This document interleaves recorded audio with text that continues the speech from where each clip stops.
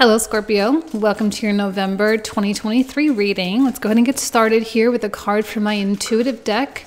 So, what is it that Scorpio needs to know for the month? Let's see what comes through.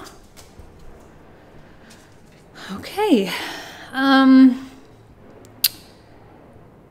I'm feeling like there's kind of like three groups of Scorpios right now. There's the group that is going round and round and round and just cannot seem to get out of some kind of a place, right? Can't get out of a financial hole, can't get out of a, a, bad relationship, can't get out of a bad job, whatever the case is. It's just been really hard to take that initiative or to make that happen because maybe there are legitimate reasons, you know. Um, the second group are, are Scorpios that have made it out but are not necessarily in that place of stability yet. And then there's that third group who's really flourishing and succeeding with what they're trying to do. Wherever you are on that spectrum, all right, like if you're in the first group in that spiral, chances are you're really close to getting out. It's just a matter of one or two adjustments or decisions that's going to get you into that place but once you do that, there will still be that faltering, unpredictability, a little bit of instability while you're learning about who it is you're becoming and while you're learning about your new path. Okay, if you're in that second group, just know that you're kind of coming to the end of that learning phase and making it toward that more abundant and stable phase. If you're in the stable phase, there's going to be even more for you, or you may be starting that cycle over again. But I'm seeing wherever you are on the spectrum, I am seeing a positive upswing, which hopefully can bring you some kind of ease, all right, because it means you're not going to be where you've been. You're going to be moving into the next phase of it. Not that the next phase is necessarily better or more stable, but at least it's progress. At least there's something, um, you know, different to look forward to, that it's not just the same old, same old thing. I think you've learned a lot, Scorpio. This card is an indication of how much you've learned. It's an indication of how much you've, how far you've come. And especially if you're in that first group that just feel, feels like, if I could talk, feels like you've been going round and round and round again, feels like you've learned the lessons, right? You've extracted the wisdom and you truly are ready. It's like a graduation, right? You're ready for that next, that next uh, endeavor, if you will. And November might bring some sense of triumph or some sense of accomplishment and I, I do see some pretty steady progress, you know, a lot of consistency, a lot of persistence, because wherever you are, whichever group you're in, there is definitely a part of you that says, well, you know what, this is not acceptable for me. It's not acceptable for me. It's not acceptable for what I want in my life. It's not acceptable for this time in my life. And something has to change. I think Scorpio is highly driven by change itself and uh, I don't know. I think you're kind of grabbing the bull by the horns here and making some really good things happen for yourself, which is awesome. And it's not something you have to sit around and wait for the universe to do. I think this really comes from you and your choices and the actions you decide to take. It, this is not a sit around and wait kind of deal, okay? Beautiful. The Badger spirit. Be fearless and bold. Exactly. Like, this is the time for Scorpio to really push down on that gas pedal and say, We're going for it. We're going for it. We're going to make it happen. We're making choices. We're pulling the trigger on certain decisions. We are aligning ourselves with the outcome that we want. And I don't think you need to be scared. I really don't. I don't think you need to be scared. I don't think you need to be weary. Like, I don't think you need to be in a situation where you are. Um, so worried about the outcome, you know, there's definitely no need to be in some kind of a analysis paralysis, all right? You don't have to think so hard.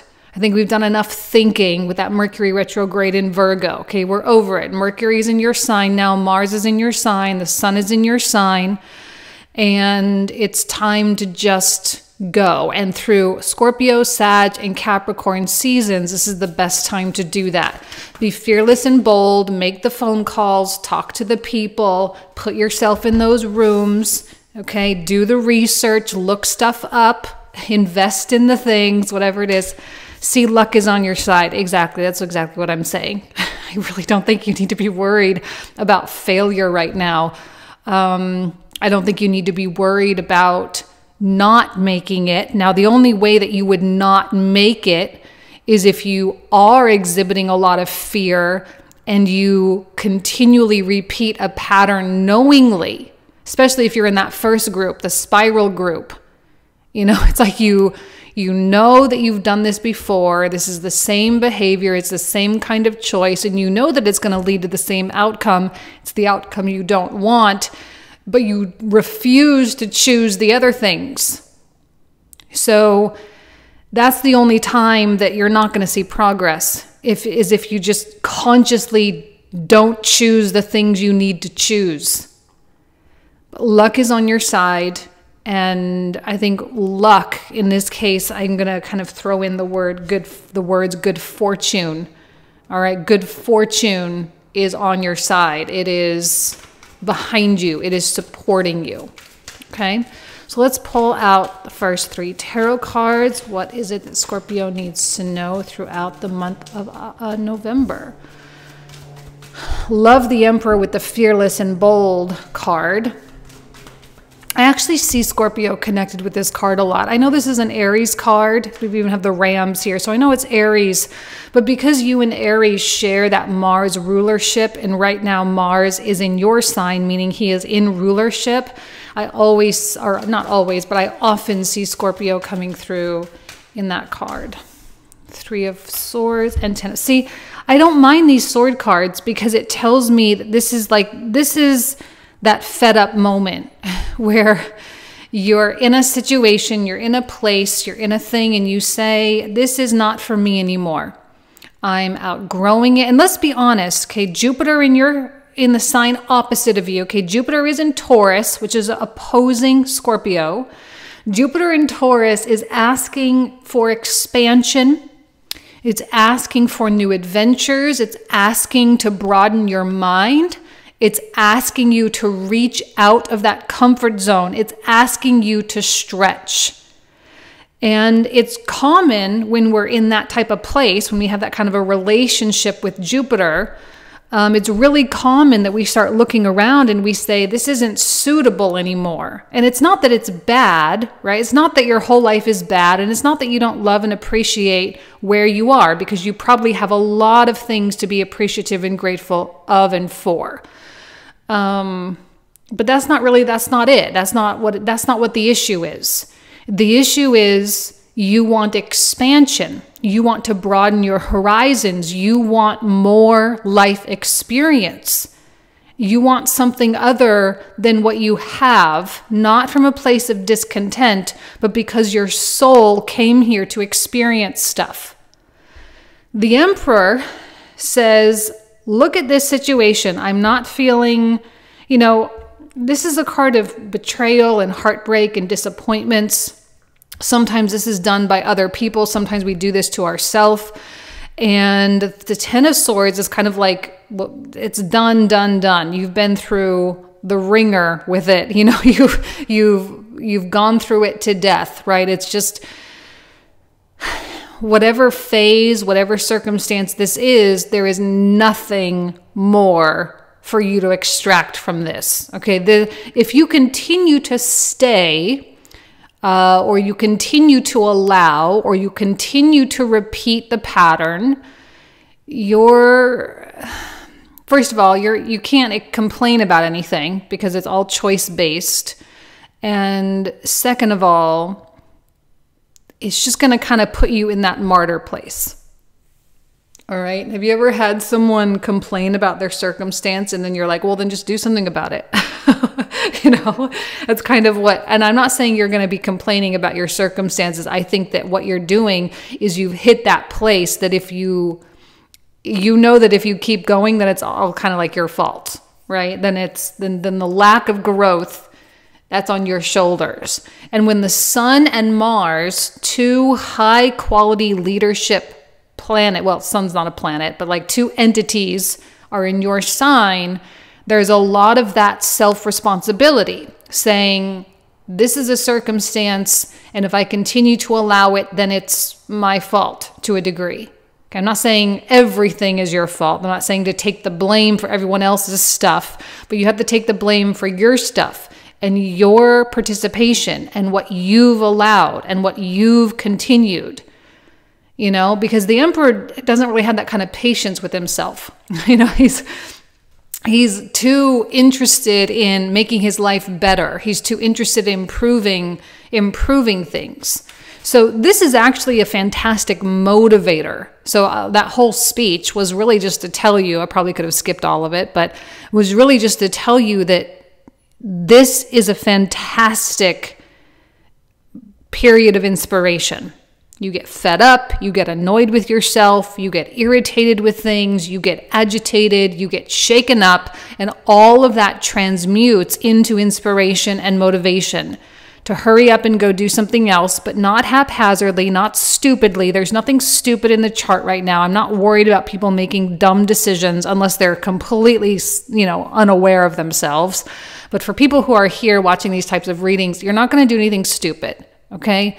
Virgo in in uh, Venus in Virgo is not really going to allow that. When she comes into Libra, she's not going to allow that either.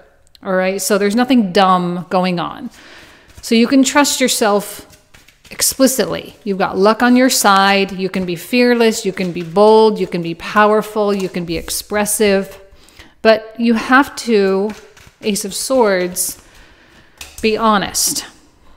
Okay, you have to be honest. And sometimes honesty is hard. Now, also, I don't want you to cross the line into berating yourself. That's not honesty, that's self bullying. We're not trying to be doing anything like that.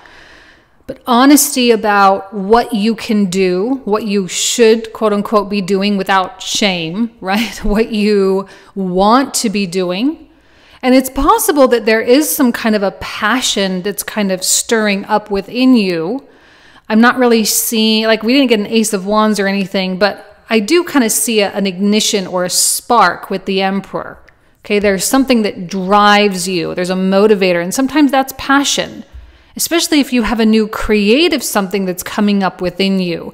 When you have a new creative urge, whether that's to create a new business or to create a new piece of art or to create a new life or to create children or whatever, um, when you have that new creative spark within you, it really puts this kind of 10 of swords, 3 of swords stuff into perspective.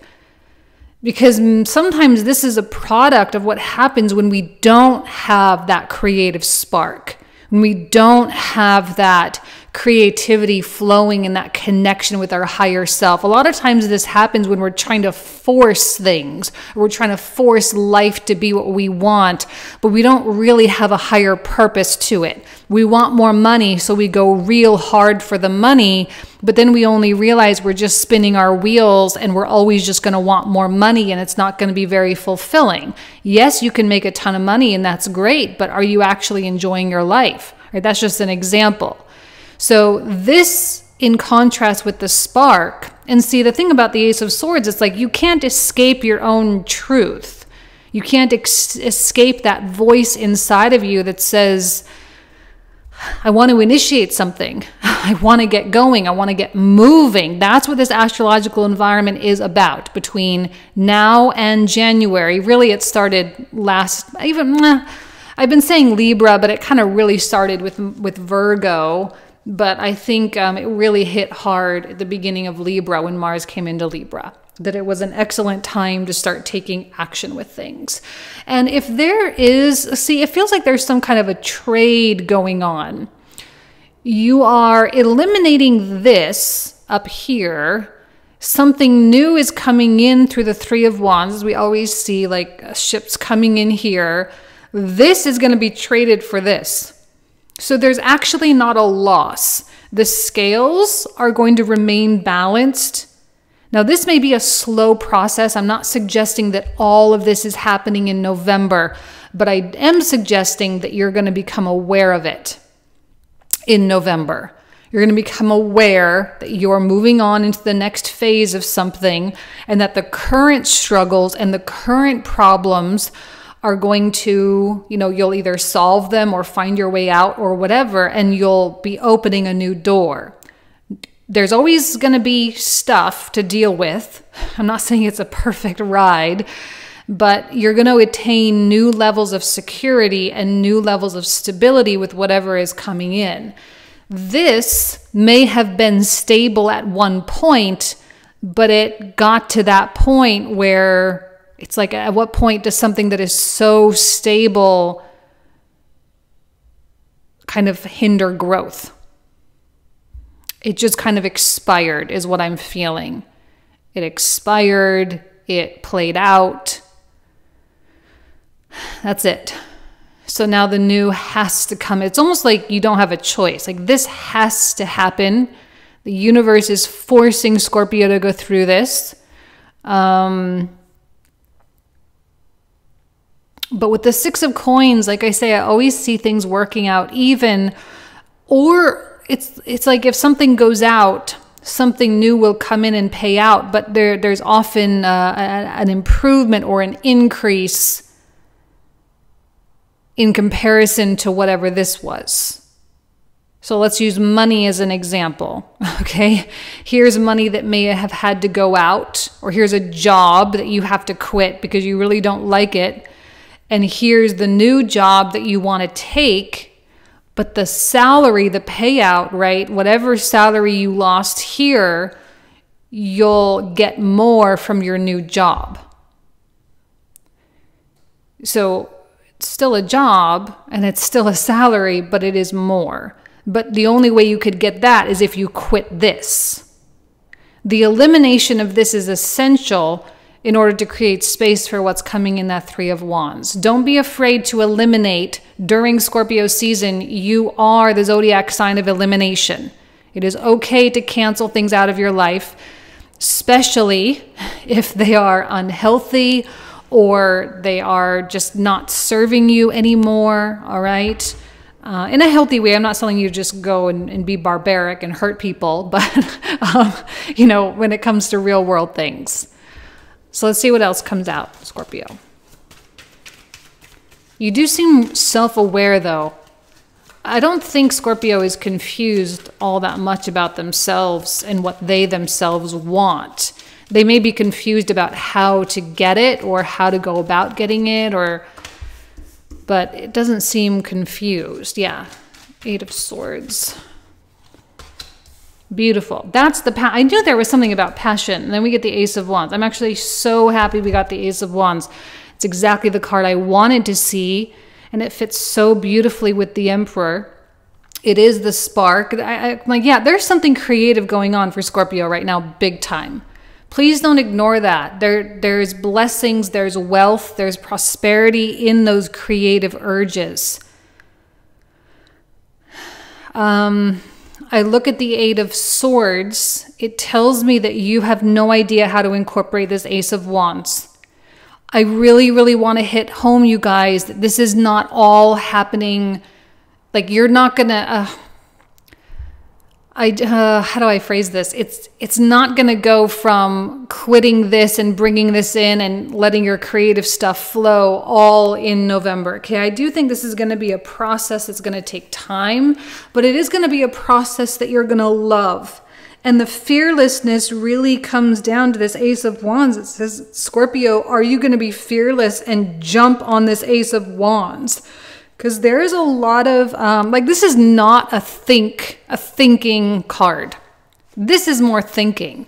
But the ace of wand like again eight of swords like don't think about this creative impulse. And it may feel like an impulse and you may even question yourself and say how sustainable even is this? You may be surprised at the sustainability of some of the impulses that you're experiencing right now especially with Saturn. Okay, on November 4th, Saturn stations direct. It's going to be going direct. Saturn in your fifth house can be such a beautiful transit. I'm not saying it's all roses, okay, because roses and rainbows, because I know it's not. But the creative things, right? Fifth house, fifth house, Pisces, um, creative house. Whatever it is that's initiated and created during that time has longevity. It has the potential to stand the test of time. So again, you can trust. You can trust this. You can trust the stars right now. You don't have to be able to see everything. And you can have strategy, and I encourage you to have some type of strategy. I encourage you to think about what your next steps are. I encourage you to, you know, to take control of your life and to dominate your yourself a little bit. Um, to be in control of yourself to to because it does take self control to be fearless, right? Fearless and uh, impulsiveness. Well, I'm trying. Because fearless can be a function of like a purposeful function, but it can also be rooted in like idiocy, right? this is not idiocy, obviously. Uh, you're, you are thinking, the emperor thinks, the, the emperor calculates. But I don't want you to think it to death, and I don't want you think I don't want you to think yourself out of things just because you can't foresee exactly how something is going to integrate into your life. Now, I like the Queen of Swords. I'm having a hard time feeling that that's you, and I just so happened to see the bottom of the deck. I don't normally do bottom of the deck stuff, but I just so happened to see it. 10 of coins, luck is on your side. Don't worry, Scorpio, there's prosperity in this for you. Okay. Another indication of that. But the Queen of Swords feels like another person, a person of reason.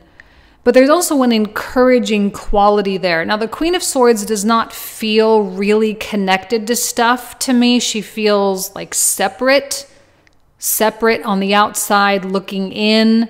This is someone who could have a nice neutral opinion. This is someone who could help you kind of balance the pros and cons of different things. But remember, the goal here is to get rid of this and to allow new things to come in.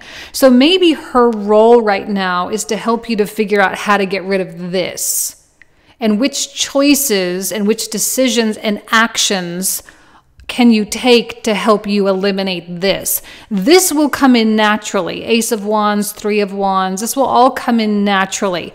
If you try to do this first, try to bring all this stuff in first, it's not going to have space because there's too much of this going on. Okay, it's like you you want to get out of the pattern, but you continue making the same patterned choices but then you're trying to expect more to come in. It's like, well, you're you're making decisions that limit yourself, so how could you ever experience more? You know, like you don't want to be living in a contradiction. You don't want to be contradicting. So the number one thing to be focusing on probably through November soul focus is eliminating this stuff. Eliminating the patterns that don't serve and choosing different choices. Queen of Swords can help you identify those and help you make choices that are digestible and not going to completely throw your life upside down. Because you're the whole you're, you're not trying to create a mess of your life you know? You're not trying to do anything like that. You're just trying to improve. And it's possible to improve through a smooth process or through a gradual process. And i think that's better for fixed signs anyway and i think that's better for jupiter gradual um, but it doesn't mean that urge isn't going to be there. So this is probably a friend or a, you know some kind of a counselor or a coach or someone someone that you respect. It might be a spouse. This is definitely not like a toxic parent or a toxic relationship. Okay, this is someone that you respect. You respect their opinions and their ideas. If it's not someone you know personally, it might be someone you, you know, you like their books, you follow them on social media or something, and their advice can be really, really helpful. But I do think it's a, a chance for Scorpio to start making high quality decisions that genuinely will change their lives, right? Scorpio, this is an opportunity for you to really change your life, and it can be not so dramatic.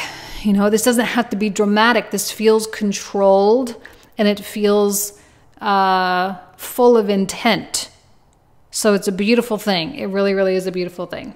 Okay, let us pull out the clarifiers.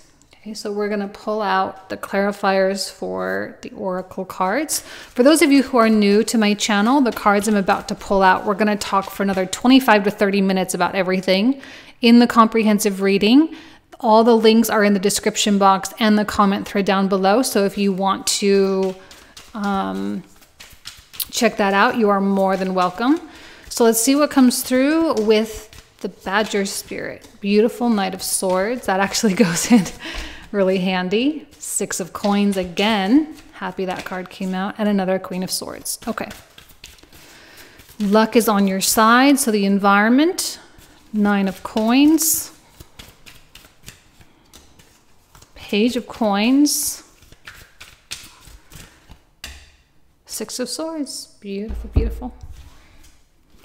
So for the Emperor, what does Scorpio need to know for this nine card block? The world. Excellent. Seven of Wands. Ten of Wands. There's the work.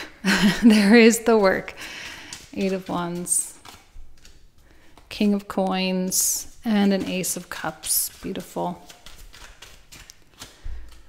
Three of Cups another Six of Swords, Queen of Coins, Seven of Swords, Page of Coins again, Three of Coins, another Ace of Wands, Strength, another eight, uh, Knight of Swords. I love the Knight of Swords in that deck, or in this deck, the Michael Greer deck a nine of coin, I'm sorry, nine of cups, in addition to the nine of coins here. Another three of swords, getting lots of repeats, and another six of coins. It really is about that six of coins and understanding that you're in some kind of a trade-off moment. Chariot and the magician. Ugh, love the magician. High priestess. Another or not another, uh, eight of coins, I mean. Ten of cups, amazing. Queen of wands. Another three of wands and a king of cups, which that's your card. All right, Scorpio, so this is where we are going to pick up in the comprehensive. So if you want to join, you're more than welcome. Again, link in the description box and the comment thread down below. Thank you so much. You guys know how much I love and adore you. Have an amazing month, and I'll talk to you soon. Take care. Bye bye.